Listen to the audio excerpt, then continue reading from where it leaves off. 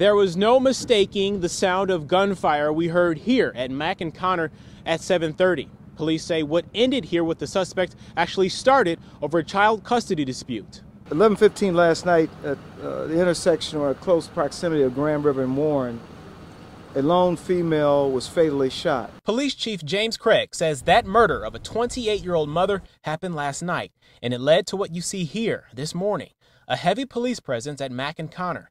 Hours after last night's murder, the suspect barricaded himself in his vehicle around 5 a.m.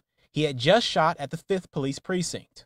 He gets out with a high-powered weapon, leans over the hood, and begins to fire several shots into the police station. The chief says it's unclear why the 28-year-old suspect targeted that location, but he then shot at a scout car, took off and parked in a lot across from Fiat Chrysler on Conner. As they were moving in to block him in, uh, they could see uh, that he was holding an AR-15 against his chest.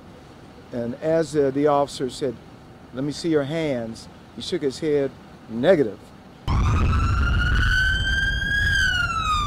Then a gun battle between police and the suspect. The suspect died. To back things up a bit, following last night's murder, overnight, the chief says the man had sent a text message to the victim's family. I saw the text message and basically it said that I told you I was going to kill this victim if my child was taken. The chief says that the suspect also threatened police as well as an unnamed judge in his text message to the family. Now, no officers were shot in this incident. However, one did have uh, an injury, a minor cut because of broken glass.